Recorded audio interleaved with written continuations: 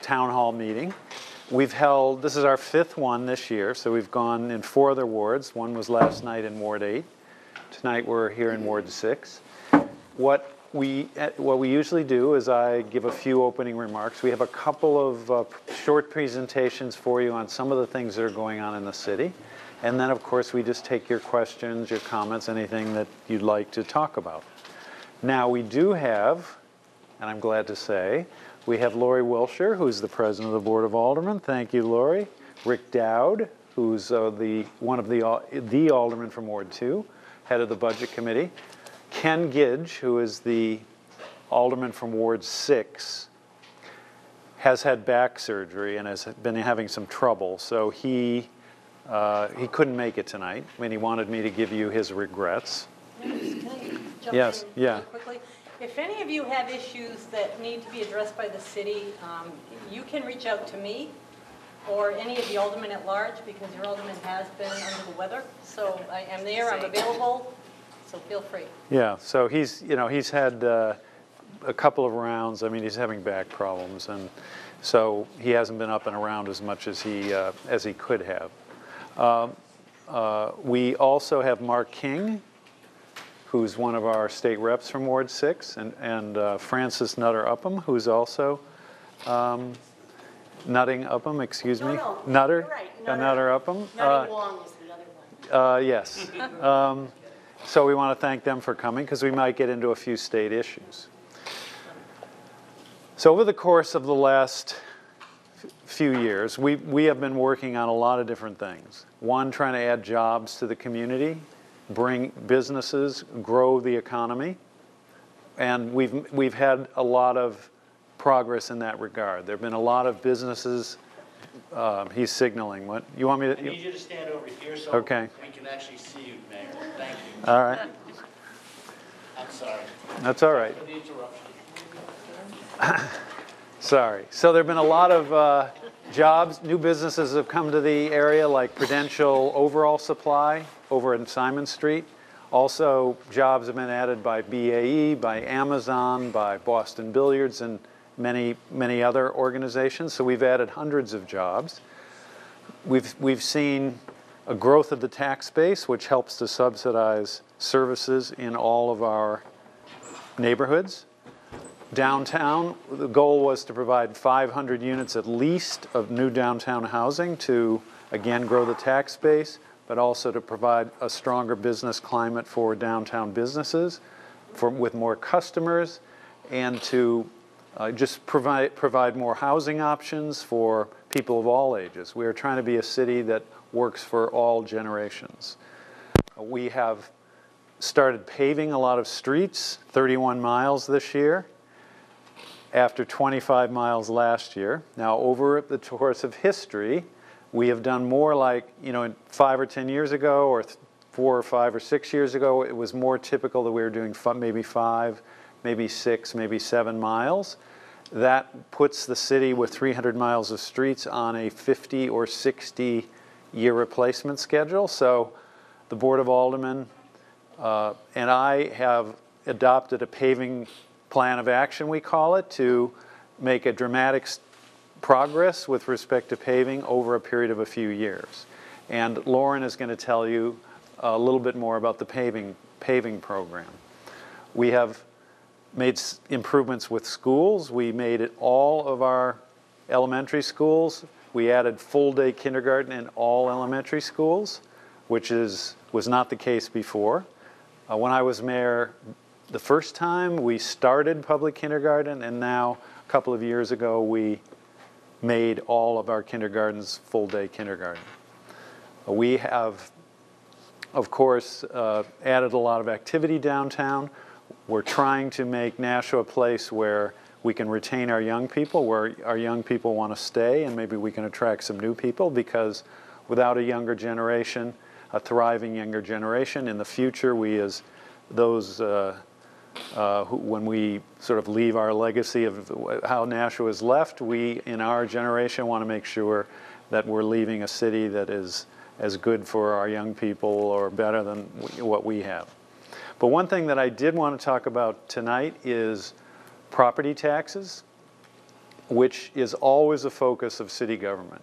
Now, the balance every year is to try to provide services that are, that are needed, fire, police, schools, public works, paving, everything else, uh, while at the same time trying to maintain a tax rate that is affordable to all who live here.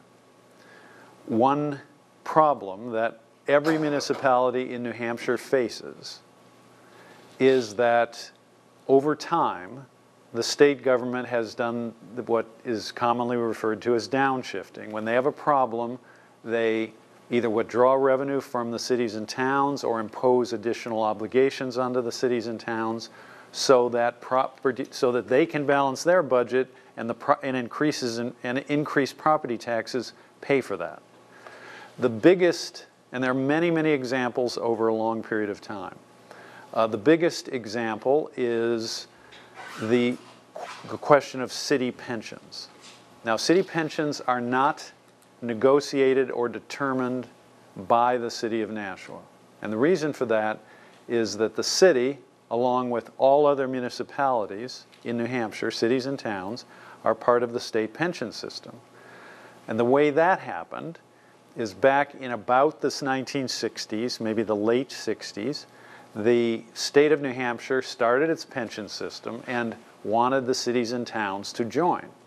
And in order to get cities and towns to join, told us that they would always pay 35% of all municipal pension costs.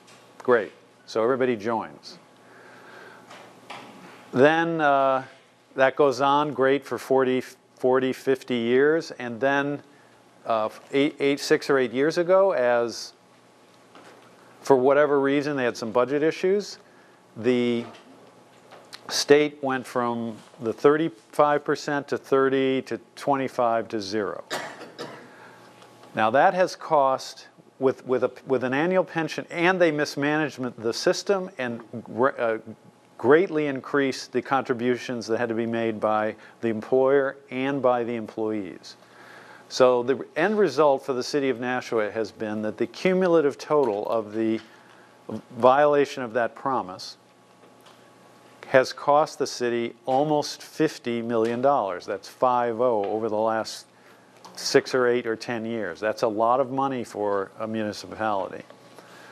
Uh, So this year, we faced an additional challenge with the budget. Uh, We, we wanted to maintain the quality of services. We wanted to keep our property tax rate as low as we possibly could. Uh, We, of course, kept up with the paving. Uh, We made some improvements in schools. We've begun to look, and Rick is doing this through the joint special, at a project to improve this middle school as well as Elm Street and Pennichuck. Uh, We added some fire dispatchers paid by the ambulance company. They're paying us some money now. Uh, But we faced a big challenge, which was the fact that employee health care went up $3 million, 11%. So overall, the budget went up about 2.9%, but the, but for that one line item, that is the healthcare costs, the budget was only up 1.6%. Last year's budget was up as a total 1.6%. Now we are, we see a little light of the, light at the, but, so I know property taxes are a concern and I know, so, but I want you to know that for the Board of Aldermen and I, that is always a, you know, a thing that people are always thinking about. We want to have a good police department, we want to have a good fire department, we want to offer good education to our kids, but on the other hand, we want to try to do it as, with it, with property taxes as low as we, you know, as low as we can get them.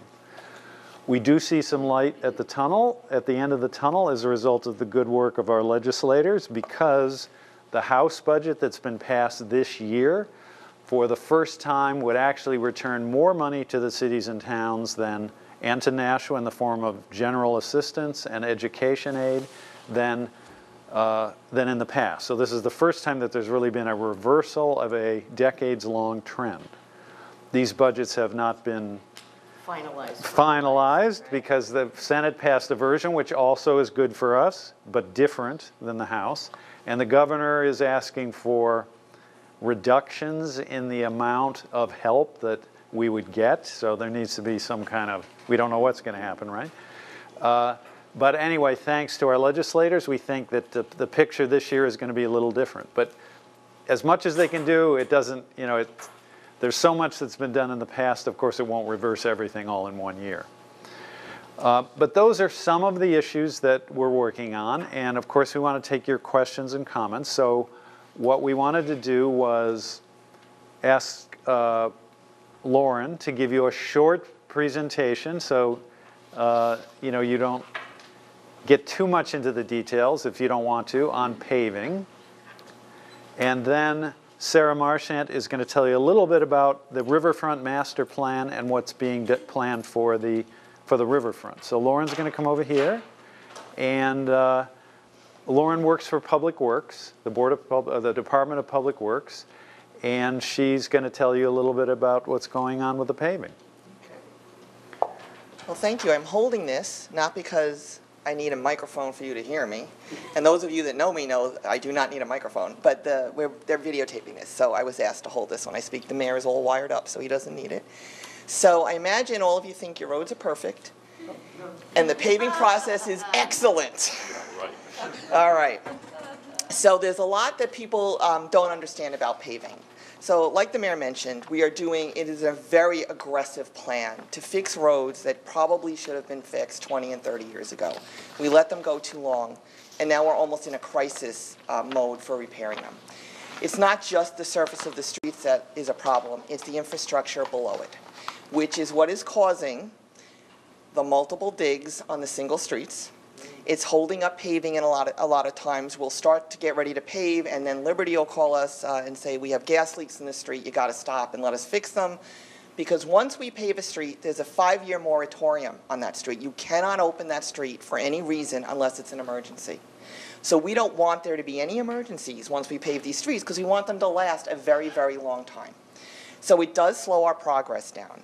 Um, we've had a lot of questions about why did you tear up my street and walk away from it? And did you forget us? And we get a lot of phone calls about that. So no, we did not forget you.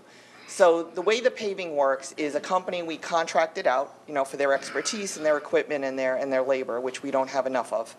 And they come in and they mill maybe 10 streets that's in their contract for the first for that phase. So they do all 10 streets, and then they come back, and their equipment goes elsewhere, right? Because they only have so much equipment, and they work all over the state. Then they come back and they adjust the structures. Then they come back on all 10 streets. And then they come back and they do put down the first layer, which is called the binding layer or shim. They have to let that sit a little while. They may have to make some structure adjustments, and then they do their final paving, and if necessary, their stripe. It can take anywhere, I say two weeks, but that's pretty much a lie on my part. So I'm going to say it takes three to four weeks to up to eight weeks or more, depending on the size of the street and any issues they encountered when they opened the street. We also get a lot of calls about, well, this street around the block is so much better than mine, and you're doing my, you're doing their street and not my street. So your street may have a PCI, which is called a paving condition index. We rate every street in the city from zero to 100, zero being the worst. So yes, your street may be far worse than your neighbors. You may have a 19 PCI, which is terrible, and they may have a 60. So why are we doing their street? There's basically two important things to know about paving, reclamation and resurfacing. So reclamation is when the street is so bad, we have to go right down to the dirt and the rocks. We literally take it apart and rebuild it from scratch. That is a lot of money and a lot of time. Then you have the resurfacing, where you go down a couple inches, and you've still got some binder on the, on the bottom there, like you saw on Spitbrook Road. You might have seen it over on, um, you're still seeing it on Broad Street, and you're now seeing it on Amherst Street. So they're not necessarily total reclamations, they're resurfacing, and then they come in and put a couple inches down and they're out of there.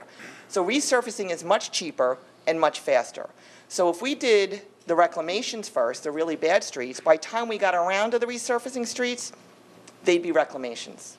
So now we're doubling our paving budget, and we're taking a lot more time. So there is a method to our madness. We, we kind of do know what we're doing here, and we're trying to save the taxpayers a lot of money and do the best job we can with paving your streets.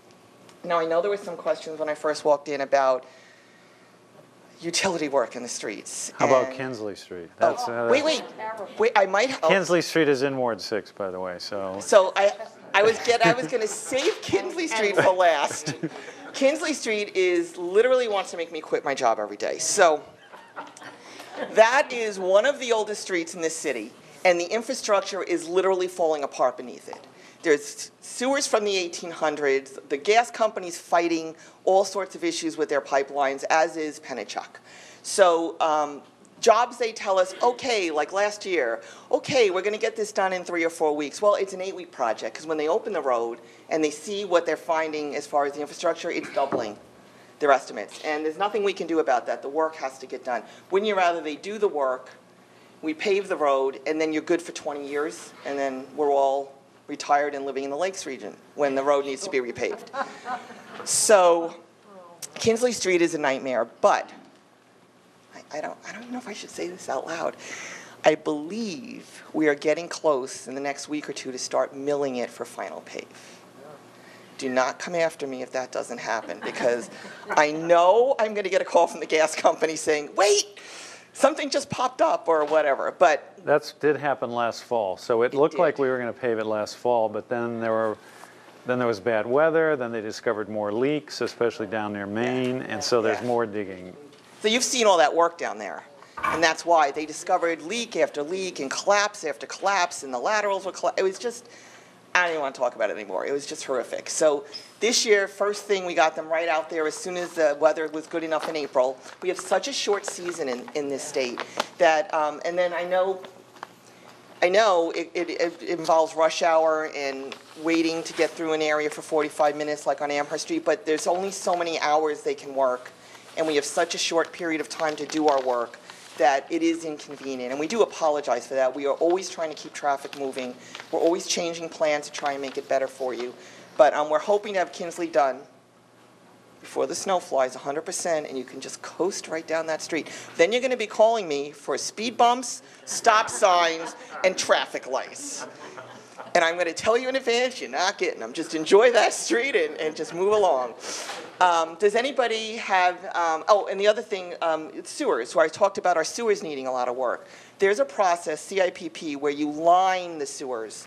So the sewers that are not collapsing are being lined, and they should get us another 40 to 50 years out of them. It's much cheaper, it's a good use of our money, and it's a good use of our time. So we've hired a company that specializes in it, and you'll see steam coming out of the ground. We are not putting in a subway.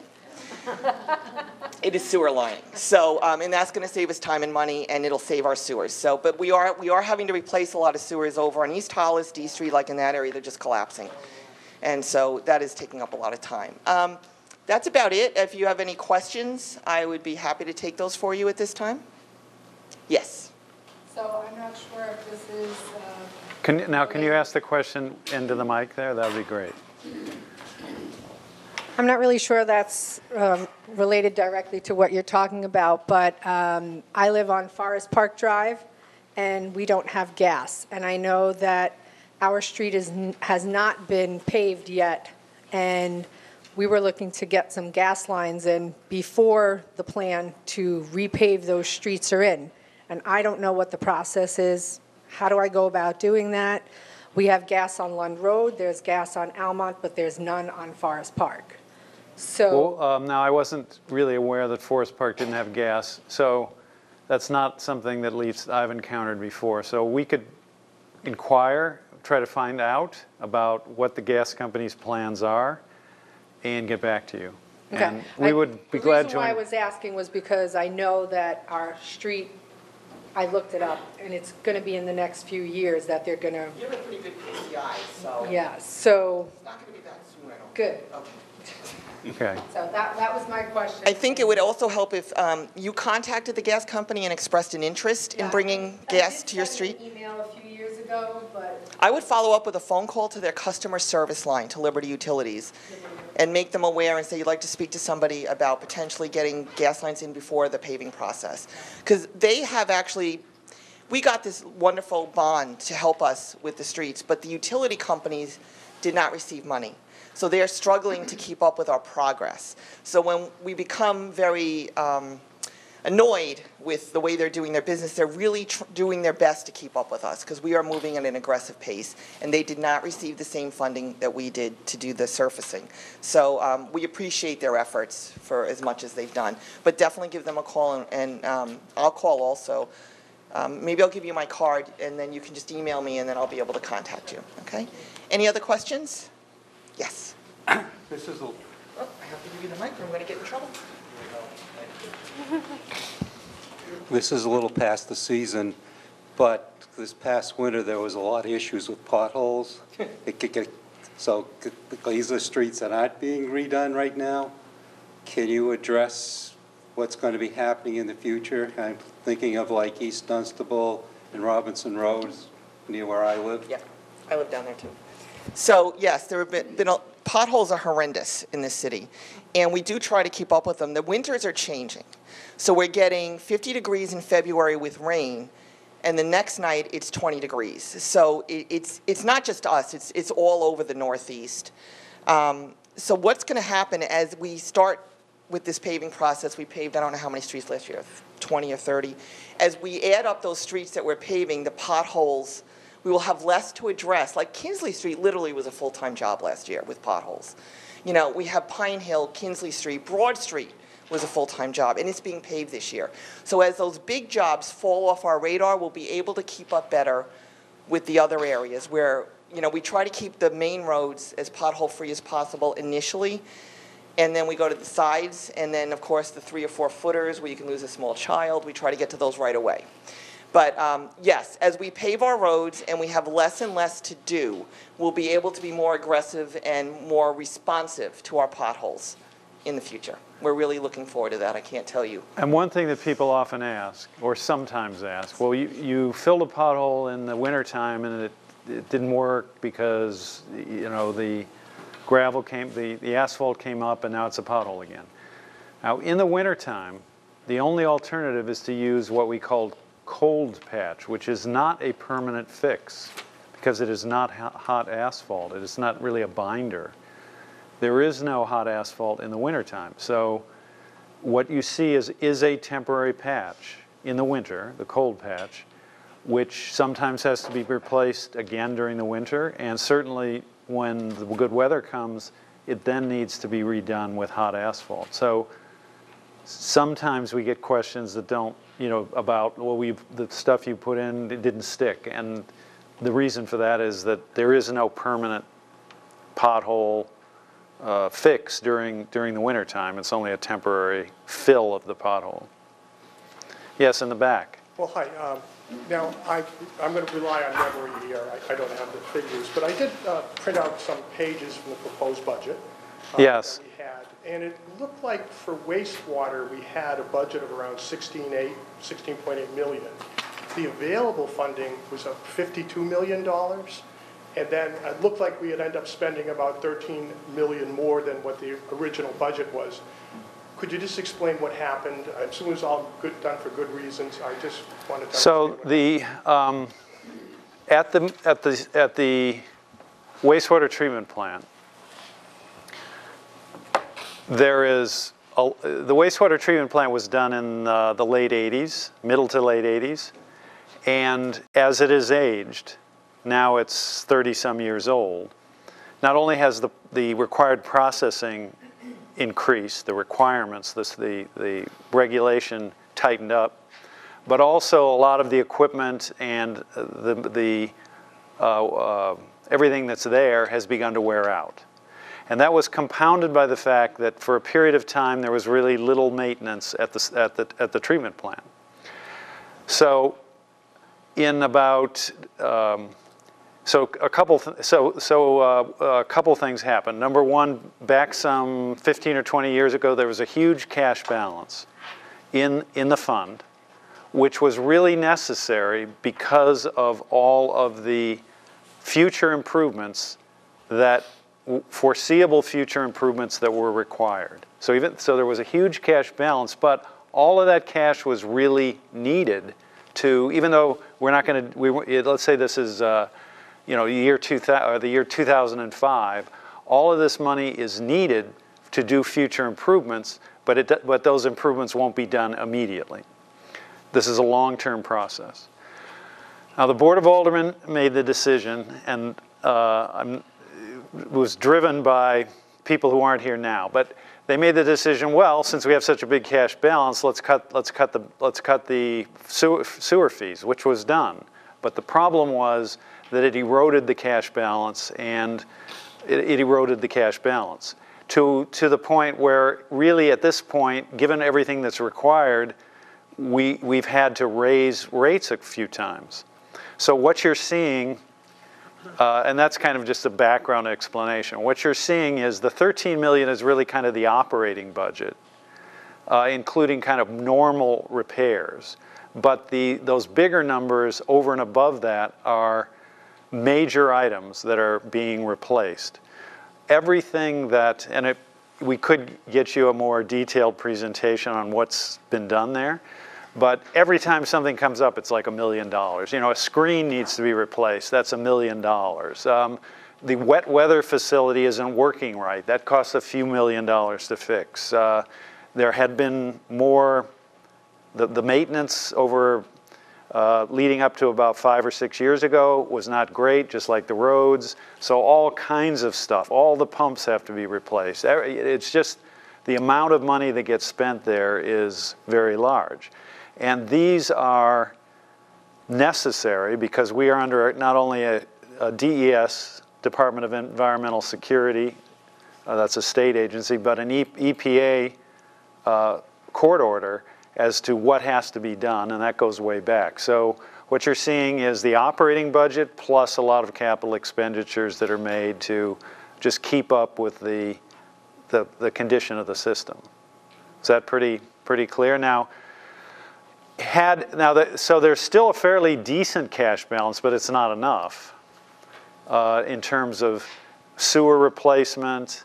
There's a lot of sewers that need to be replaced, still some equipment at the sewage treatment plant that needs to be redone. Uh, So rates are probably going to go up. Uh, The, uh, although the sewer rates for Nashua are about half what they are, maybe a little more than half, but significantly less than Manchester, an equivalent community. So um, I think maybe that gives you kind of the context and an explanation of what's going on. Now, why don't we let Sarah tell, tell you a little bit about the river, what's going on there. She should come up here, and um, uh, then we'll take questions for either on either area or anything else that you'd like to uh, talk about. All right, thank you all for having me. Um, I was going to talk to you a bit about the downtown riverfront master plan. Um, how many of you know that this exists? We did it about a year ago. Oh, that's pretty good. Nice. So um, this was approved about a year ago, and um, thanks to the mayor and the board of aldermen, um, a TIF district has been formed to fund some of these improvements, and we're moving forward with them. So um, the downtown riverfront master plan focused on an area from, and I'm sorry about the tiny si- size, but from the new Broad Street Parkway Bridge, um, down past the Main Street Bridge, all the way down to the railroad bridge by BAE, um, that you can walk across that pedestrian bridge. So it's focused on that area, and it was a community input-driven program about what do we want to do to improve our riverfront, to attach it more to downtown, um, and to enhance this asset that we have that we just haven't paid nearly enough attention to. And so um, we came up with six big ideas that, or you came up with six big ideas that we're working on implementing now. And of course, I lost my page, I apologize. Um, and so these are the things that we're focusing on getting done now. The first, um, and this report is on our website. There's a really cool video too that's like a minute long if you want to see the riverfront that we flew with the drone um, that actually shows some of the improvements overlaid on top of it as well. Um, which is a good visualization. So connectivity was the number one. We have that one beautiful cantilevered bridge that goes from Main Street by Peddler's Daughter to Jackson Falls condos and back to Margaritas. Um, the goal is to do that on all four, all the other three sides of the Main Street Bridge to really connect you from Main Street down to the Riverwalk, which does exist in many areas, but isn't that easy to get to yet. Um, and so we've put out an RFP for engineering um, with my um, counterpart, Tim Cummings, the Economic Development Director, and we do hope to have an engineering team on board to help start designing that before the end of the summer. Um, and hopefully, it'll take about a year for permitting on that because doing anything next to or on the river takes longer than you might anticipate. Um, to be fair to the river and all the different um, organizations that have jurisdiction. So uh, we hope to be moving forward with that in not too long. Currently, we are working on a lighting design plan for the whole riverfront. Um, and we had a great public meeting on that earlier this week. And we should have a new design plan for lighting along the whole length by the end of the summer, which we hope to put out to bid and we'll be either installing later this fall, depending on the construction season and costs, which are extremely high this year, we'll probably have to put it back out to bid over the winter to get a little bit of lower costs and do it in the spring. Oh, I need to be closer. Now, Sarah mentioned a TIF district. What that means is tax increment financing. So what that says is there's a, there's a boundary around, of, uh, around the river, an area around the river, where any increase in property values as a result of new construction, development, or anything else are captured for the benefit of doing improvements along the river. So the, the underlying purposes are first of all to beautify the river for our use and so that our people can enjoy the river, but also to help uh, do a you know chicken and egg thing where the, the the improvements as the area improves, those values are captured to reinvest around the river to make more improvements to hopefully bring make more river improvements which will bring more private investment to the area. So the idea is to use the uh, value that is being created to enhance the river which which creates more value more private investment and ultimately you know a better downtown and a better riverfront And so the, uh, along those lines, um, another thing we're working on right now is permitting to remove all the invasive species along the sides of the riverfront. One of the number one things we heard is that um, maintenance is a is a difficult, and you can't even see the river this time of year, right? There's so much vegetation grown in. There's so many invasive species, and so um, permitting invasive species removal along the side of the river again takes a long time. To be careful with all of the environmental agencies, but a big piece of that is going to be tree removal. Um, we will not be removing stumps. We will not be um, disturbing the banks necessarily, but we do intend to remove quite a few trees that are covered in invasive species that would be dying after we sprayed them anyways beforehand as a way to save um, riverbank and to keep it stable. Um, and we hope to do that from all the way down to the Cotton Mill Bridge, um, all the way down towards past the library eventually um, on the south bank. So you will see before this, the end of this summer, a substantial amount of tree removal that will then be followed by invasive spraying this fall and next spring. And hopefully you'll have a lot better access um, next spring to the river. And so those are some of the immediate things that we're working on. Um, and there's a whole bunch of more information in here, and I'm happy to answer any questions you have. any thoughts or questions on this So will, it- oh, I can Yes, repeat Fran. it. When the plan is finished, will it be like a, a walking loop? Can go across bridges along one side, across, back the other? Yeah. So yes, when the loop is finished, it will be, um, it will be a, a loop that you can go along the riverfront, all the way down from Main Street, either side, behind the library, all the way down to the railroad bridge, back through BAE, along the existing cantilevered bridge, um, behind, or in front of Riverside Barbecue, down to Cotton Mill and the Cotton Mill Square, um, across either that Cotton Mill Bridge or to continue and go further to the Mill, to the uh, Millyard Technology Park underneath the river, which will get you connected to Mine Falls Park. I mean, Mine Falls Park is a jewel in the center of our city. It's 300 acres and it's less than two, it's like a three minute walk from the Main Street Bridge, but you don't know that it's there. Um, there's wayfinding signage as part of that, helping to connect these dots. Um, and we really want to, and we heard from you and the community and the people who work downtown that they really want to be able to connect to our larger trails. We have the Heritage Rail Trail that connects into Mine Falls Park. So the goal is to have these larger and larger loops of recreation, green space, and connection that do connect. So, you know, if you wanted to take a three mile run or a five-mile run, or a 10-mile run. Um, You can do all of that right from downtown, or using our awesome VO Ride bikes, um, or, you know, so that we really can have some good alternate modes of transportation and connecting downtown to that fabulous green space that is Mine Falls Park. All right. Anything, what, uh, well, let me, anything else you'd like to ask now? Let me, um, you know, the, over the, over the, I can't help but do this. So over the last uh, few years, Nashua's got a lot of accolades. So we think that our entire community, by working together, is, you know, just a lot of great people, have helped us to uh, accomplish a lot of these things. So in 2018, Nashua was named one of the safest places to, to retire in the country. In 2018, Nashua was named one of the best, the ninth best run, best run city in the state, in the, in the United States. Ninth best run in the United States.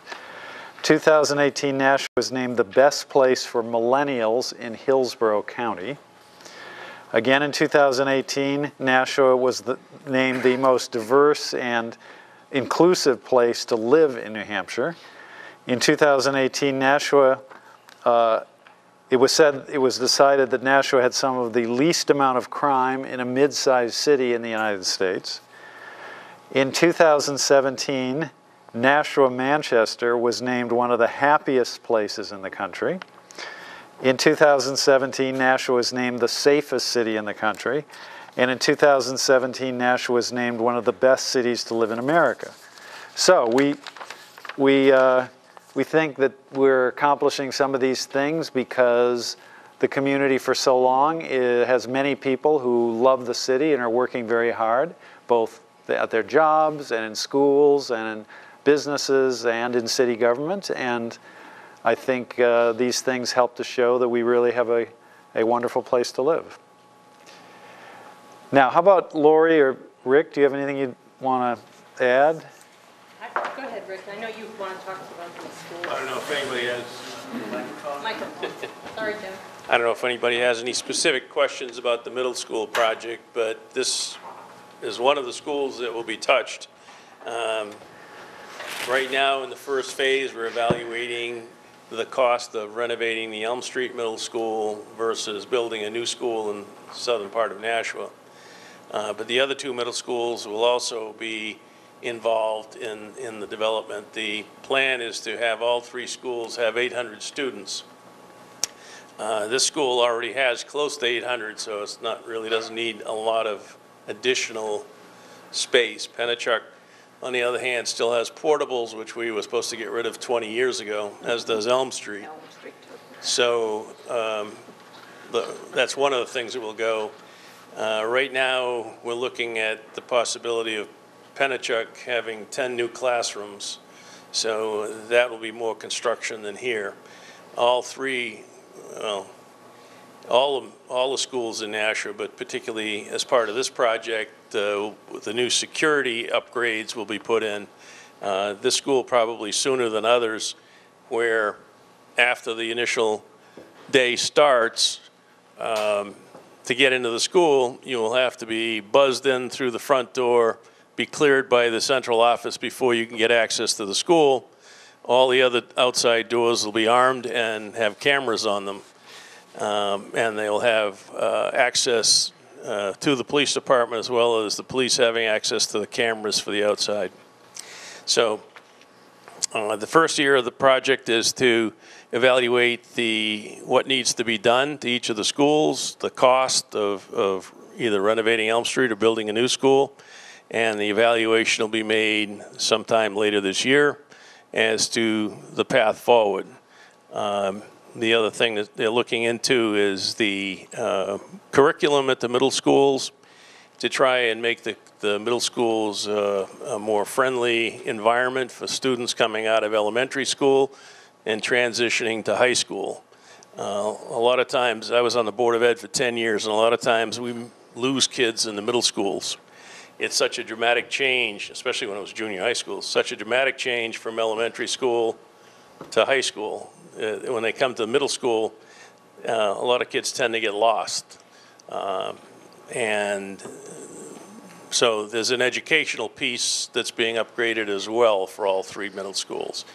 So hopefully when we get done, uh, we'll have one of the best middle school uh, series, if you will, uh, for, for uh, New Hampshire. And uh, the kids will have a much better experience, a much better learning experience, and be much better prepared for going to high school. And If anybody has any questions, This, this study for repairing or replacing Elm Street. Now, right now, I, I, I'm assuming, I'm guessing that the new one down the south end would be around the Buck Meadow area or something like that. yes. Well, what is the cost of transportation? It's gotta be astronomical. Um, actually, they're doing two things. One, we're doing a, a traffic study as, as part of all of this. Mm-hmm. And um, the students right now that live in that section of town get bused to Elm Street, which, so it's just sort of, they get shorter bus routes and, All right, and if we have a school in each, se- in the northern tier of the city, the middle of the city, and then the southern part, the busing should be shorter routes. okay. A- a- Along with that, say you, you, will- we end up putting a new school down the south end. What becomes of the existing buildings? Well, as I tell people in this study, as soon as we make the decision that it's not a school anymore, it's someone else's project. But it's still city But it's still the city. So I Uh, think uh, That's a the, big first of area. all, Stay Keefe would, Keefe would be preserved. We really need to preserve Keefe as an auditorium. There are various things that could be done with the remainder of the school, but one thing, one area what- where we've already heard a lot of interest is there are, there's the possibility of converting the Elm Street School to, to, to housing, like you saw on the, on the uh, Franklin Street Nashua Corp conversion. And people like the, the, the company that did that have asked about, well, you know, is, El- would Elm Street be a possibility? And it seems like, well, maybe it would.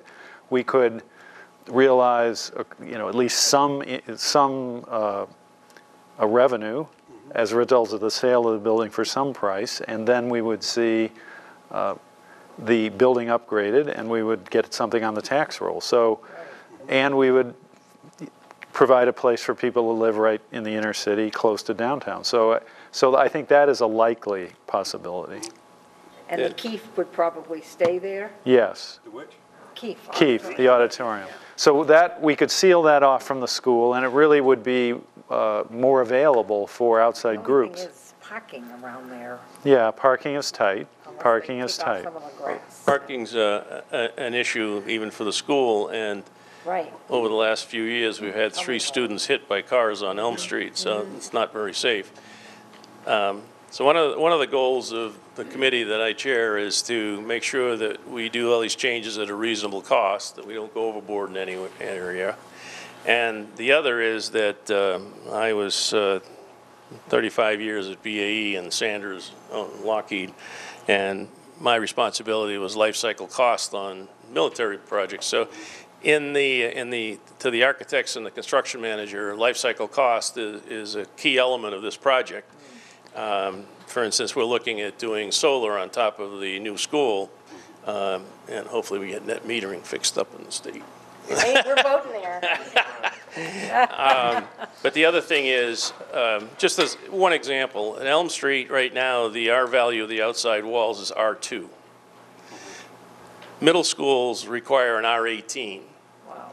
If we spend as much money as we can insulating the outside walls, the most we'll get up to is an R11. Yeah. That's just one area. Yeah. Right now, we've had to hire another firm to come in and evaluate the structural integrity of the hallways. Right. Uh, We've had some issues over the years with parts of those hallways. And so all of this is being taken into account. So when we're done with this first phase, we'll have a document that says, this is the way we're going, and this is why we're going that way, and, and, and to give an excellent education, but at a reasonable price. Right. Yes. Um, When you just mentioned Wait. um, potentially changing, um, of course. When you mentioned taking, um, potentially Elm Street and converting it to housing, how does that affect, um, all of the other, the infrastructure within there. For instance, you put, uh, I don't even know how many units, but you put considerable amount of units in um, an area where there are two or three elementary schools probably already somewhat jammed. So how does, how does that trickle down? Because it must be part of the master plan that you plan X amount of housing and what that means, just like West Hollis Street where BB Rubber was, and I don't even know how many units are over there, but there has to be some, There, there is, there is an impact on the school population, of course, depending on kind of the mix of the units. So in most of these downtown, but, but on the one hand, school, new, school kids add costs, but on the other hand, we don't want to run out of school children either. I mean, that means the community is getting very, very old. So um, we have seen over the years a decl- declining school population gradually. But in, and now I'm saying from say 20 or 30 years ago, now the, the population is like 11.2, 11.3. At one point, not that long ago, it was 13,000, maybe in the, in the 80s or early 80s. But in recent years, the population has remained fairly stable. Uh, as new, so, so some of it depends on the mix of units. For example, the, the conversion on Franklin Street, I think, has very few children in it. Clock Tower has some, but not that many. So, of course, where you get the largest concentration of children is actually single-family homes, where, you know, the a number of kids per unit is a lot more than in apartments. Could it add, could it, depending on what is built, depending on the circumstances at the time, could it add kids? Yes. Uh, but on the other hand, that may do nothing more than stable, you know, stabilize the population. I mean, there is no absolutely clear projection as to how many kids we're going to have even next year. I mean, often, often those numbers fluctuate. So certainly, if we get to that point, if we get a housing proposal, if we decide that that's the way to go, we would be looking at the then current elementary school and, and, and middle school, high school populations, uh, but would have that in mind when we make a decision as to how, how best to go.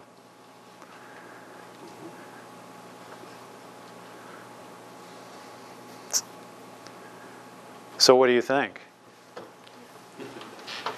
I, I think it's a complicated issue. Yes. You know, without a doubt. I mean, nobody wants to see a building empty Right. of that magnitude. Nobody wants to see, I think, the high school move for 1,500, but There are, I mean, I, you know, there are some, in addition to these structural problems and the inability, the, the, the really the inability to insulate the building very well, and Rick is documenting all this, so this, these are just general observations. There are a lot, there are additional costs that are associated with renovating an ongoing school than building a new school. For example, what do you do with the lunch, what do you do with meals while that part of the school is being renovated? So I think the answer there is you would have to build an, a temporary cafeteria outside the school walls for at least a year. And that is some millions of dollars, which would then be lost entirely because that would then be taken down, right? The other thing is, of course, for our Elm Street kids right now, we don't have every, all, the, this school and Pennichuck have athletic fields and other ways that the kids can exercise for, for teams and the like. And yes, Elm Street has some of that, but they have to, they have to go somewhere else and there's no on-school, on-school recreation or athletic facilities, right? So that's another issue that um, probably will be taken into consideration. So it is sad to lose a new school, an old school, but you know when we, I think uh, uh, the decision was once made to sacrifice the Spring Street School for a courthouse and instead have Pennichuck, and I, you know, I have to think the kids at Pennichuck are better off where they are than had they been downtown at Spring Street. Another thing, if, if we did renovate Elm Street, that's a four-year plus project because you have, you have to keep moving people around. Rick, take the microphone. Yeah, so um, eh, that not only adds time, it adds, and time always adds cost. So there's a big cost factor there to take into consideration. And if we renovated Elm Street, a lot of the things were built when uh, I went to high school there. The- The cafeteria and the gymnasium on Chestnut Street and all that, all have to be torn down because they're, they have structural problems now. And uh, there'd be, a- the front of the school would actually go to the back of the school. And so there's a lot of, a lot of pieces to the Elm Street, if we renovated that, that are going to add cost and time. Uh, We can build a new school in Southern Nashua in less than two years. So, um, again, we're doing all the uh, analysis now and collecting all the facts and the data, and we'll present that to the public uh, probably in the August to October timeframe. That land that you're going to build on, the school, if you do in South Nashua, is yours already. It's the Correct, city's. correct. So it's not something that's So that was reserved at a time when there was a housing project, hou- housing Is that subdivision. right, like where Captain's Corner, where the Near there, fields just, are? just uh, Oh, I know. up on Buck Meadow, to up Buck Meadow Yes. about uh, quarter of a mile. Oh, Okay. Yes, Well, it's interesting, I'm going to segue into a- a- another issue, but I think it's related. Uh, This has to do with the Downtown Entertainment Center. Yes. Which I think was put out for referendum, and I think it barely passed with the idea that we wouldn't be spending any money unless we got that $4 million of private uh, money flowing in to show there was a real interest. I, I would put that project in the want category, not the need category. And it does seem that we're starting now to expend resources when we haven't got the pre- prerequisite private donations. Right. We're talking about rebuilding a school, which we need, we don't want, we need. And if we're going to husband our precious resources and the tax dollars of the, of the homeowners here, I would like, to suggest to you that you back off on the want project and concentrate on the need project, which is rebuilding the new school. Um, Now, could I, would you mind if I address the Performing Arts Center in terms of want versus need? So there is still a requirement that we bring in $4 million of outside money before the project can proceed, in the form of either tax credits or private funds or both. Projection now is, the experts think we can do $6.5 million. But that's in the works. In terms of want versus need, um, there is an economic development strategy behind the idea of the Performing Arts Center. And you can maybe agree or disagree with that, but it's not just because someone says, well, I'd like to go to a, a, you know, I'd like to go to a performance downtown, which yes, we'd like to do, but that's not really the reason that the city is investing money there. So we have a downtown that is an economic development opportunity. Right now, it is the, the quarter mile, which consists, the quarter square mile, which consists of the down, the central business district, which is the main street and kind of the mill yards, pays $6 million in taxes, but requires very few services. I mean, people think, oh, a lot of money is getting, gets spent downtown. Well, kind of, but downtown subsidizes the rest of the city, as does Amherst Street and the south end Daniel Webster Highway, because it pays more in taxes than even close the services that are required. No there's no even garbage collection down there. So how do we build on that tax base and strengthen the tax base down there? We need to stimulate private investment. We need to bring and, and, and create a bigger customer base for the businesses that exist, both those things. Even though Nashua is a relatively affluent community, citywide, especially compared with other cities in New Hampshire and like Lowell and Lawrence and the like, that census district right there is the poorest census district, the 293 out of 293 in the state of New Hampshire. So if by investing money down there, we can grow the tax base and add to that $6 million and make it nine, that alone will more than pay for any performing arts center. And the idea is that if we can operate a commercially viable center there, we can bring 50, 60, 70, 80,000 people to Main Street on an annual basis, all of whom will probably spend money elsewhere. In addition, we are, we, New Hampshire, are struggling with the problem that we are an aging state. We're the, it depends, I, you know, I hear the second or the third, it's, it's Maine, Vermont, and New Hampshire are the oldest states in the United States and getting older. And if we want to prosper in the future, if we want Nashua to thrive in the future, which as, you know, one of the more senior members in the city, I want to see happen. And if we want to see our young people stay here, we need to have a city that young people like and that we like. You know, I mean, everybody likes. But there are certain things that help us uh, become a place where all generations want to live. Thing, and an active downtown is one of the things that is at the top of the list for maintaining uh, uh, and, and attracting at least the, you know, the, the newer residents. Um, the Performing Arts Center is part of that. Getting rail is part of that. Getting the downtown housing, this, the, the, the 500 units I just talked about, the conversion on Franklin Street, a big, big step forward. Some music concerts downtown. Believe it or not, the Pride Parade, very important in terms of making Nashua a place where people want to come. So the Performing Arts Center is part of that. Now, so we think over the long term, the investment that we make there will pay off.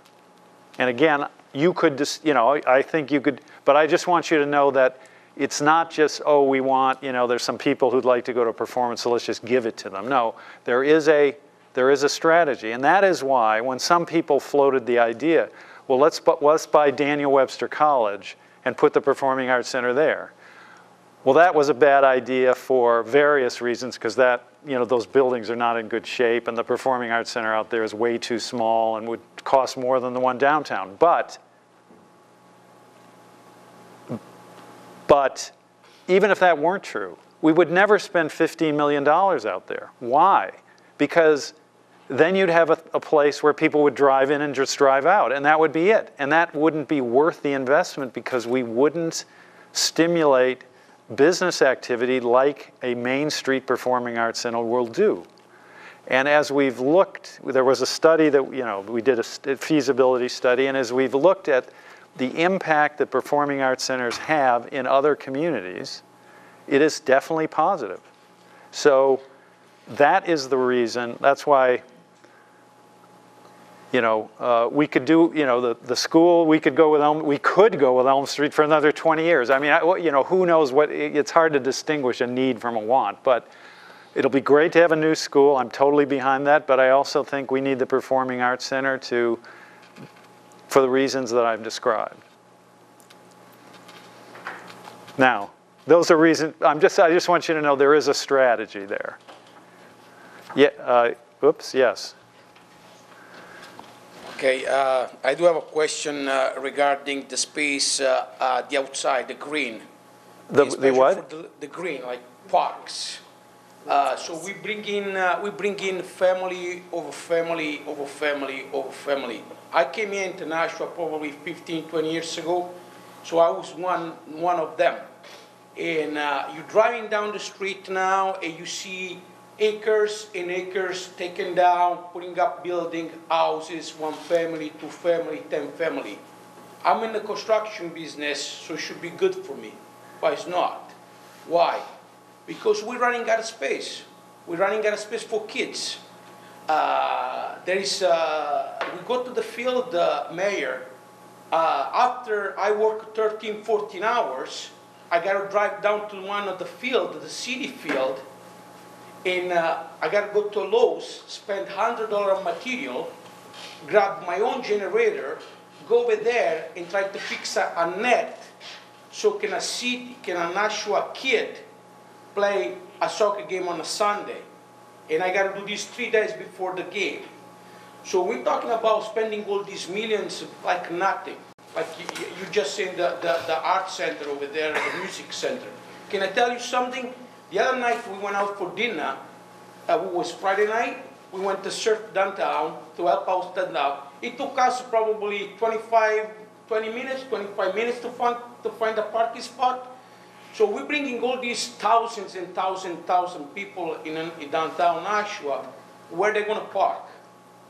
Unless, unless, that's one thing. But my, my Now, I biggest think you've concern- asked two questions. Can I? yeah, yeah, but my I can big- answer them. Because I, I never had the chance to, to come and do this, so. Yeah. This is a lot of things that, that, that, that we gotta see it, you know what I mean? And the biggest thing is, uh, building all these houses, but what is the space for the people to do something? What is Right, it? right, I understand. I've been in Manch, I've been in, I- I've been in Bedford, and, uh, and uh, we get told that we were playing in a field, they say, so you know what this field was maintained by? I say, no. The person, the builder who just built 21 single-family houses here, the city made them to build a a soccer field or or a baseball field, whatever you want to use that. You want to go walk your dog, you could do that. Over here, I don't see any of that. Like I said, I gotta work 13, 14 hours, then go to Lowe's, uh, spend 100 bucks, go to, to the, to the field, drive down the field and fix a net so that the kids can play that three days later. Uh, and I, I- I live in a 2,000 square feet house and I pay $7,000 a year taxes. So where's my tax money? Uh, I, I gotta use duct tape to put the nets together. So this city doesn't have people that they do that. I see thousands of uh, city workers around it. There's nobody in charge that say, you know what? Can you guys go around and try to fix this so the kids can play or whoever the adult can play? Because you've got 40, uh, uh, over 40, over 60, uh, 10 years old, 8 years old, 6 years old.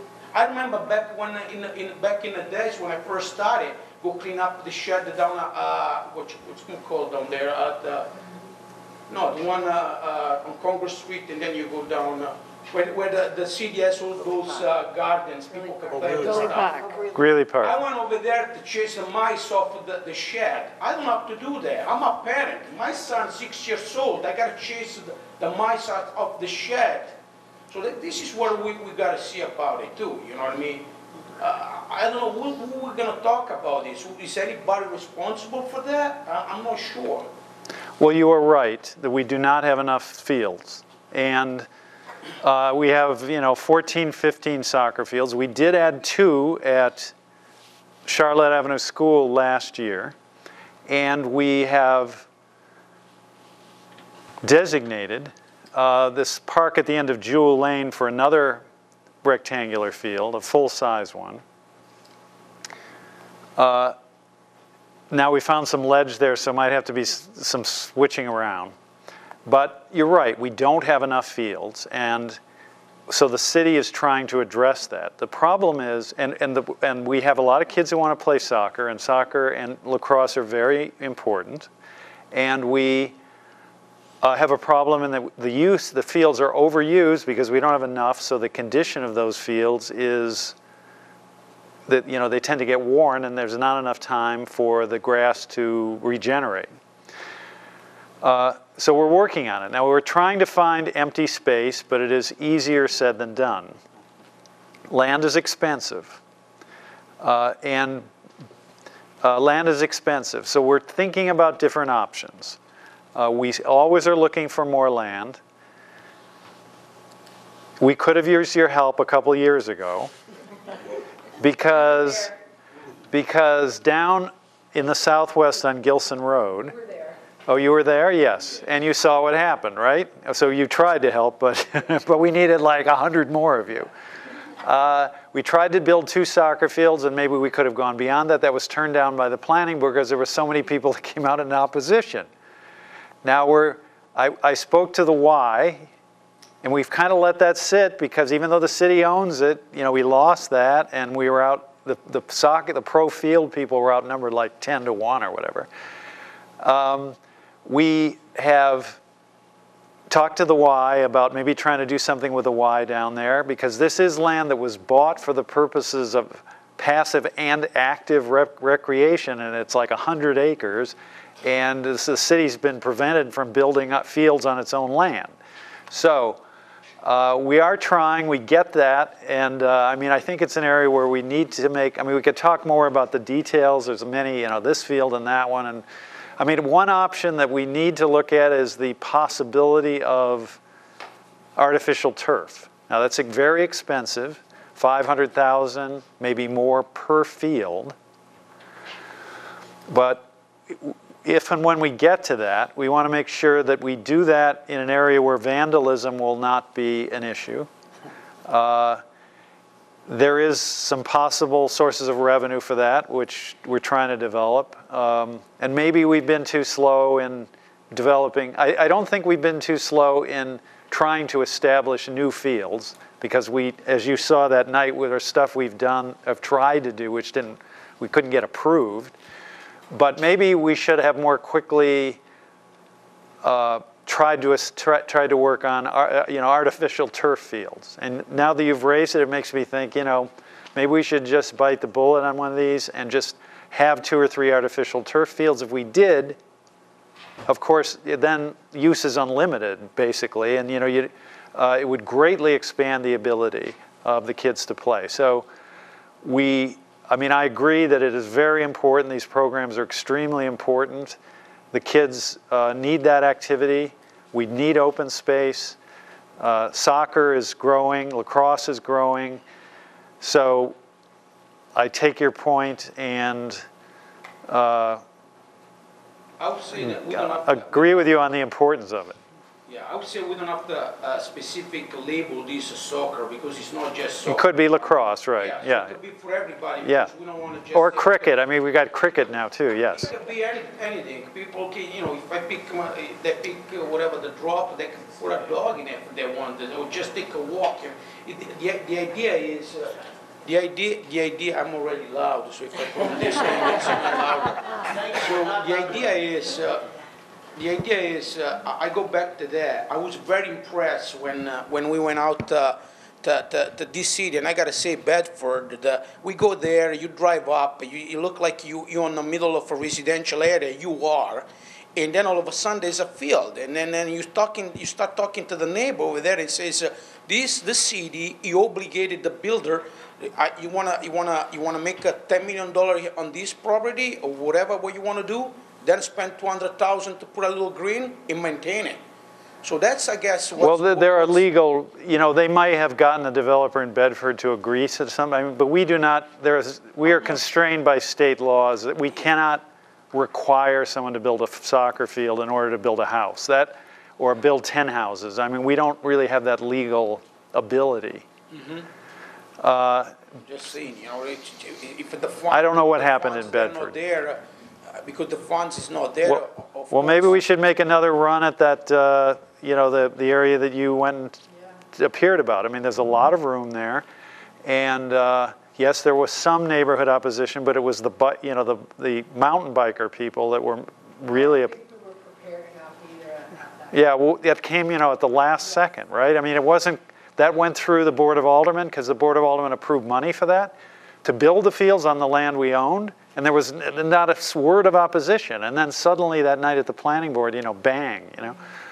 But just yesterday, I did meet with the Y with some other people, and we, we talked about that land, and we said, you know, maybe if the Y were to get involved, they, they're, it kind of, they have a board, they have a lot of kids, that people uh, that might support it. Maybe we have some kind of partnership with them in terms of operating and developing these fields. Maybe that will help us generate enough public support to make sure that it doesn't happen again what happened the last time. Uh, you know, and it seemed like the Y, the Y is very interested. So, and they have, you know, more prestige than the city has maybe, and they can help us uh, make sure that happens. But you're absolutely right. We don't have enough fields, and we should do something about it. In uh, my, my last, I don't know if you knew that, I'm sure there's, uh, you had a million things to do and to know, but there, there is anybody that's uh, in charge of the, this equipment that's on the fields? Yes, yes, yes. So Nick Caggiano, head of Parks, Parks and Rec, is in charge of the, all the soccer fields. Um, now, you know, is he understaffed? Probably. He has, he has 17 people in the Parks Department. Uh, Could we use 35? Yep. I mean, if we had 35, there's probably still work for them to do. Uh, That's all, of course, money, budgets, pressure, tax rate, you know, and all that. Uh, But you're right that these fields are very important, as is the, as are the other parks, Greeley Park, Mine Falls Park. Those are, all of this open space. And I disagree to some degree that the, the idea that we, well, we don't have anything. I mean, we have five, four or 500 u, um, acres of conservation land in the southwest. We have a 300 acre um, Mine Falls Park. We have Greeley Park. We have other parks. So there are a lot of parks. We don't have enough fields, though. I mean, there's no question about that. All right, thank you very much.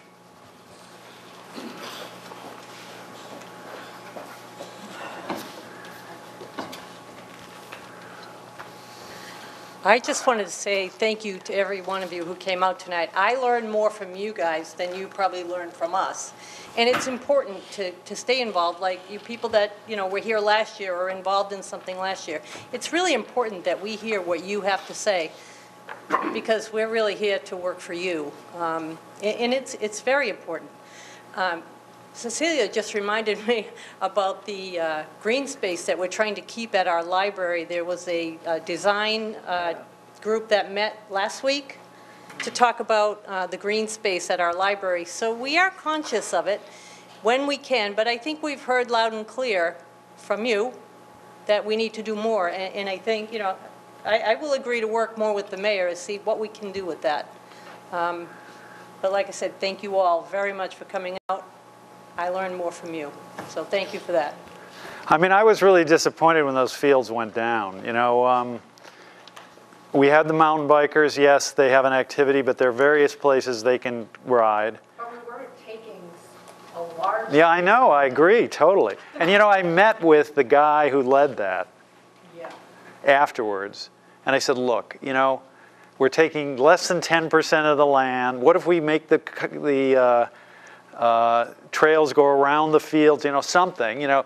And uh, the answer was absolutely not one quarter inch of compromise. So. Uh, Just like the government. um, you know, so I think we should wait till we know we have a, a broader base of support before we go at it again. Uh, that's why, you know, maybe the getting the Y involved would help, but it was a big disappointment because we do have, what, 1,500 kids in soccer, right? Soccer plus lacrosse plus, you know, it's so. Yeah, it's like a couple thousand kids playing playing soccer, and and another 500 to 1,000 playing lacrosse. So we've got a lot of kids. It's very important that they be able to play on fields of quality. We have lost since I was mayor before. We used to have the um, October uh, the um, Columbus Day tournament. Right. We've lost that because of the conditions of the field, right? And in part because of these traveling leagues and they, you know, they charge a lot of money for the players and then they use that to build their own fields and stuff like that. But uh, anyway, you're right. It would be great. I mean, that is something we should work on, no question about it.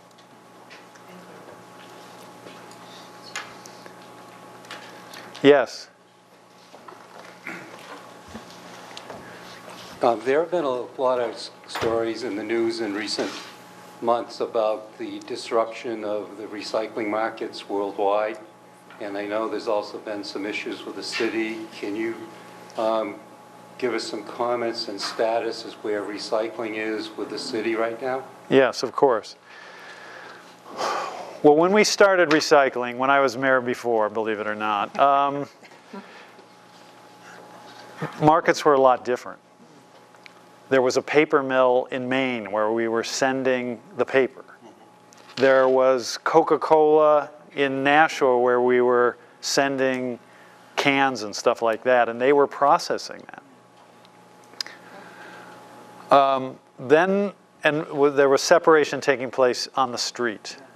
Now, that's a very expensive way to go. So the technology evolved, and now there is single stream recycling. You put everything in, and then technologically they separate things, which was working okay for a long time. And up to about a year and a half ago, uh, the markets had you know, weakened. The markets in terms of getting, disposing of the recycling had weakened. So the city wasn't making money on getting rid of recycled materials, but we were only paying eight- 50, 75 cents a ton to dispose of it.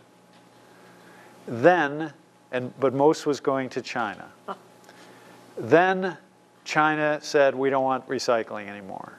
And that's what, of course, you've read about. It's disrupted the markets completely. So now, in a period of a year, the, the cost for the city to dispose of recycling has gone from 80 cents a ton, 80 cents a ton to $80 a ton. So before it was a trivial cost, you know, 80 cents a ton uh, to get rid of the recyc- uh, recycling. Now, last year, or in the current fiscal year, uh, we spent, we budgeted $400,000. That was not enough, and the Board of Aldermen transferred another 100,000 of so-called contingency money into recycling, 500,000 a year to dispose of the recycling this year. Now, Public Works hopes that the market gets better, but there's no guarantee. So this year we budgeted again, this year meaning the budget we just passed, looking forward to fiscal '20. We budgeted 400,000 again with the hope that that would be enough, and in the hopes that mar- the markets will improve. But that's totally unclear that that will happen. Now, one thing that worries me is uh, we, we- we, when we put this recycling contract out to bid, there's only one bidder, Casella. And so they take it away.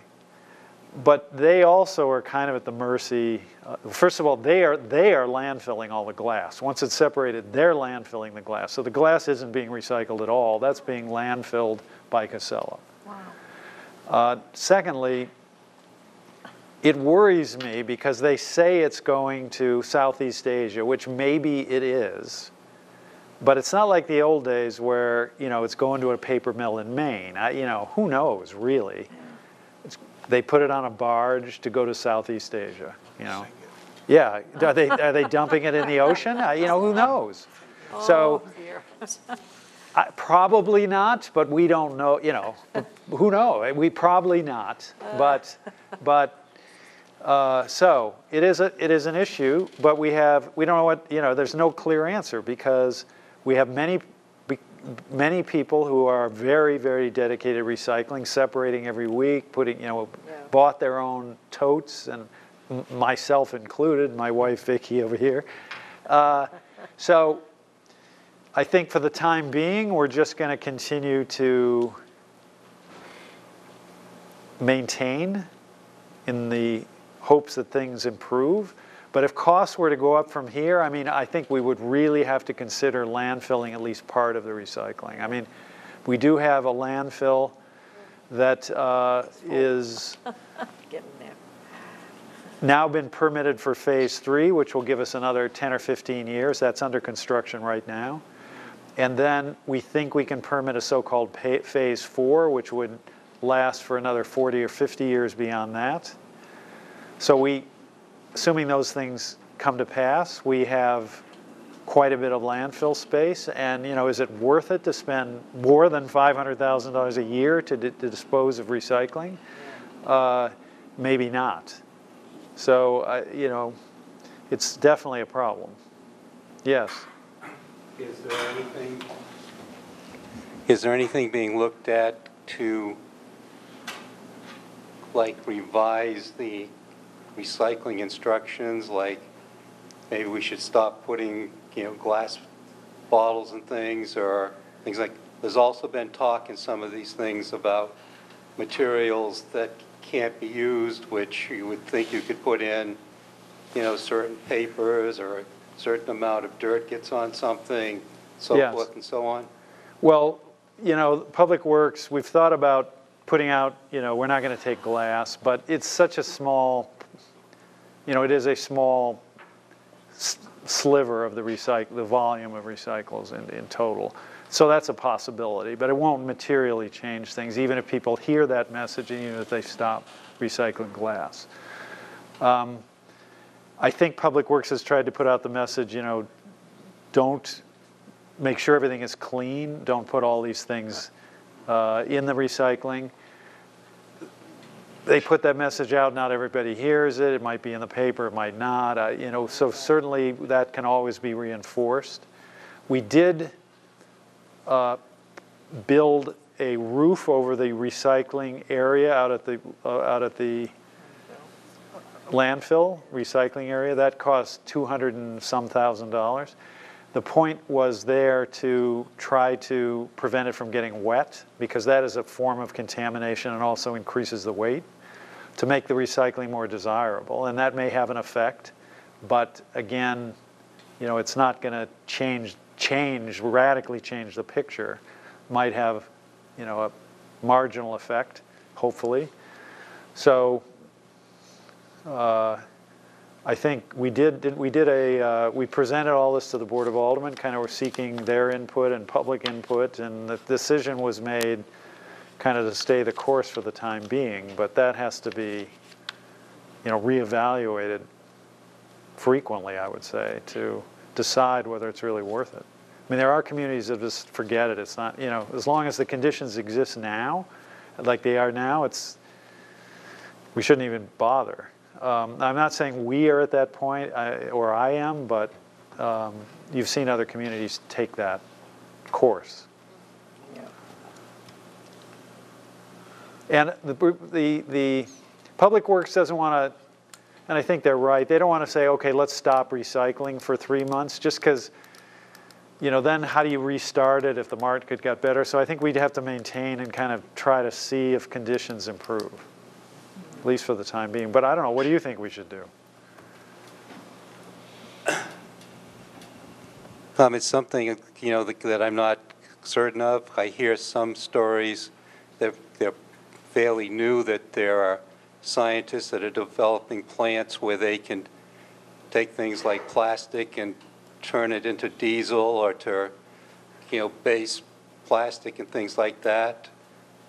And he- I don't know how soon they're going to come about or how successful you could be in attracting one of them to Nashua. Yeah, well, you know, there, there are these ideas that get discussed, and hopefully something will develop that is dependable. But like, for example, sometimes people say, well, there's somebody in Europe put plastic in the asphalt, and there's a way to recycle it, you know, stuff like that. Um, no, we're not going to put plastic in the asphalt because we got to have these streets last, and that, that will cause the quality of the asphalt to go down. I mean, the, the asphalt has to have a very specific contingent, uh, consistency, and if we put plastic in there, you know, it's not going to be as good. So hopefully some new technology will arise. I mean, that's another thing Public Works talks about. I mean, you know, there's so much money in this that maybe, uh, maybe that will push the development of technologies that, that uh, result in the use of, more use of recycling material. You know, I think that just the fact that so many communities, everybody is recycling. I mean, when I was a kid, I remember they came around with, you, you know, you, the Boy Scouts came around and you put newspaper on the truck and they sold, they sold newspaper. Well, you can't sell newspaper now. You know.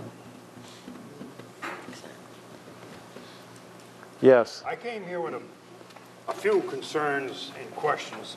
The primary concern I had was, you mentioned it right off the bat, about uh, Mr. Gidge not being well. Because I was looking at the minutes from the aldermanic meeting, and he hadn't showed up since January 22nd. And I'm saying, there's something wrong with this picture. I feel like I'm in 1750 where I'm being taxed with no, no representation.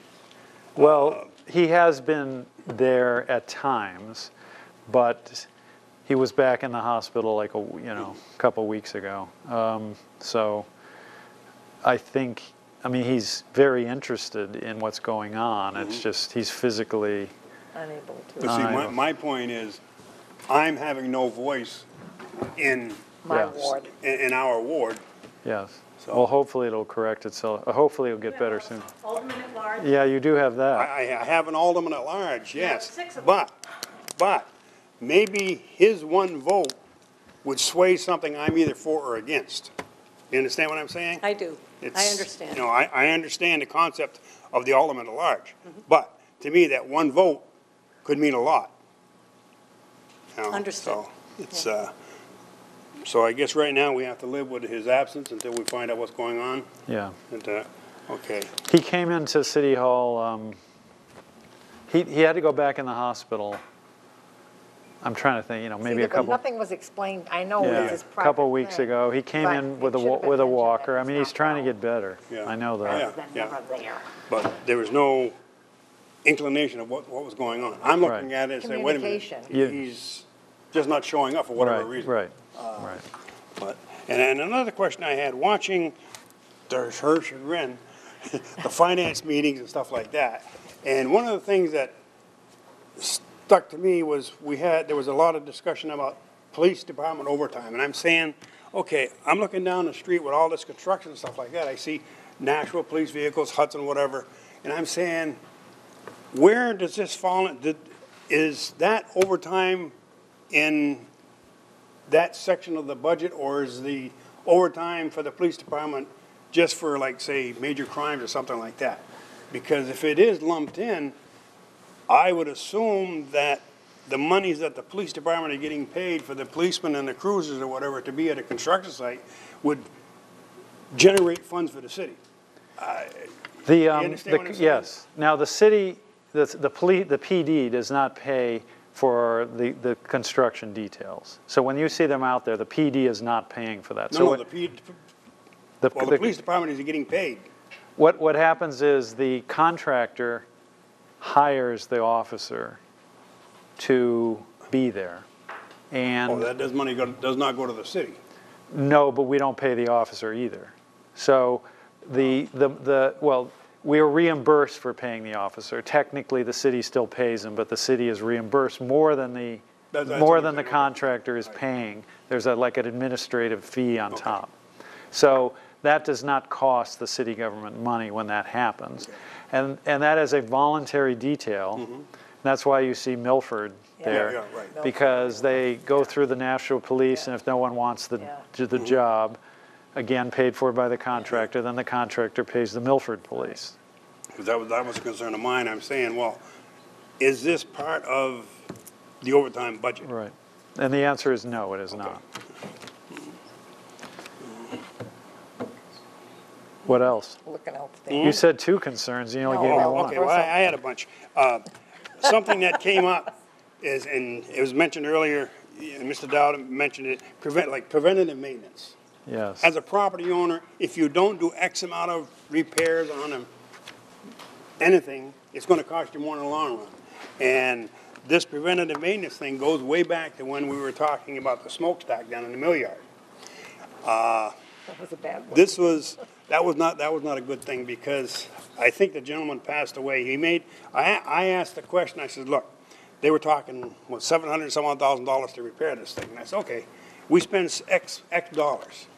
How much money per year is gonna be put in for maintenance? His answer was, oh, we don't have to do anything for twenty or twenty-five years. Won't be And I'm his saying, problem.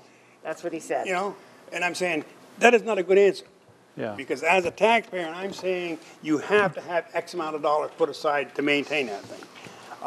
Plus, if you ask a lot of people, they would say, what is that monstrosity of a thing there? They have no concept of what it's about. There's not even a sign that says what it is. Well, it says And you Millyard spent- on it, but- Yeah, but you spent all that money. It should have had a little kind of thing saying what it is and. Oh, they've uh, got the microphone right there, actually. Yeah, it's right here. What it is and, uh, you know, why it was preserved or whatever, because it's part of the foundry, but Well, Rick can tell you, I mean, he is a very should've been taken strong proponent of Extremely preventative strong. Uh, maintenance. I spent my entire career looking out for that very subject. And when we built the two new high schools, that was paramount in our discussion of any and all materials. And both of those schools are about 16 years old now, and you walk into them, you look, they look brand new. And that's because everything in there was built to last. Everything was built to be easily maintained. And that's the premise in the new middle school project. The uh, old high school that we had to tear down, you wouldn't believe. Oh, yeah, yeah. Um, So, uh, my, I'm one of the proponents is, don't build cheap, because it's gonna cost you More in the long. three times as much Exactly. Down the road to take care of it. So you have to use quality materials and know what you're doing, and build it the right way. But, but, but maintenance is, uh, uh, huge. Um, and it, we're doing much, much better in the schools, Yeah. uh, than they used to. Yeah. And then another point on the, uh, like, the- like, like the smokestack, to me, the historical part of that whole project was the boiler room. My God, that, that hit. He that worked hit right there. Oh, you did? Did you work in He that? worked in, uh, Upstairs in Leicester. Oh, you, oh, you work for Lester? no, he Well, worked I- I went- upstairs, Austin yeah, Gordon. For Austin Gordon. It, uh, oh yeah, I had 20, 20 odd years looking at that smokestack. But to me, the historical part was the boiler room because that hit, heated all the Sprague and everything else. I mean, that's, that was, the- that was worth keeping, you know, but it uh, didn't go there. Uh, And that old building where he Oh. worked, that is a site. NIMCO. Yes. Now, you that's know, what- there, it's, it's not in that shape because we're just forgotten about it. So I know the guy. the- there's, y- y- the, the, this is the NIMCO building in the Millyard. Very briefly, uh, Mr. Dr. Kias, Yeah. the city has been in long-term Oh, yeah. litigation. We've gotten through nearly everything, but he's still owned. We now own the building, he's evicted, we own the equipment, but he still owns a small part of the land under the building. Oh, God. oh, God.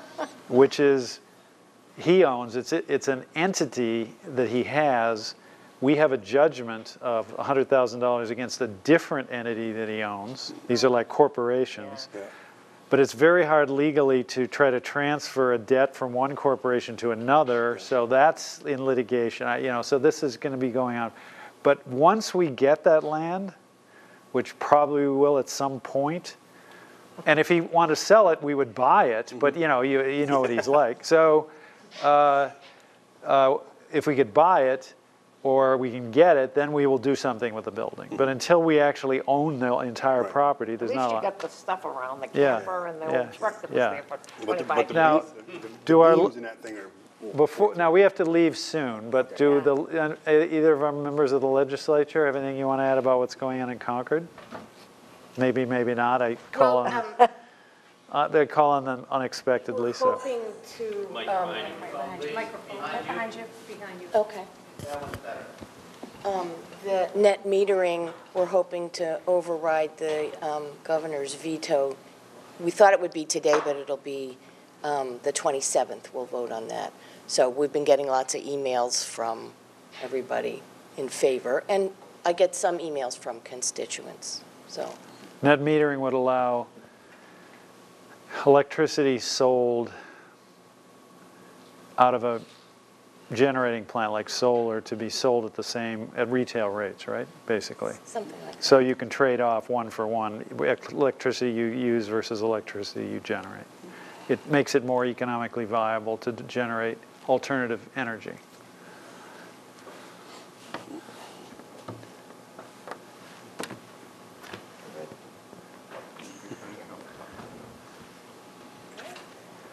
All right, well, thank you very much for coming. Thank you. Uh, What we, as Lori said, we do always learn a lot. Thank you for your comments. You, you make us work harder, that's good. And uh, so uh, we really appreciate your coming, and we'll certainly do this again next year. And I do hold a coffee down at Jajabel's every Wednesday morning. If you want to come to that, of course, you're more than welcome. So thank you very much. thank you. Yeah.